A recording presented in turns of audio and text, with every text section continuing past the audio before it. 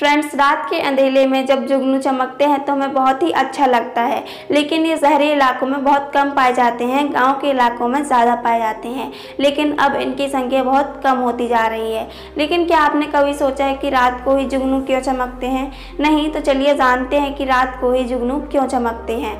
Friends जुगनुओं के चमकने का एक ही कारण है, वो है उनके साथी मतलब कि मादा जुगनुओं को आकर्षित करना।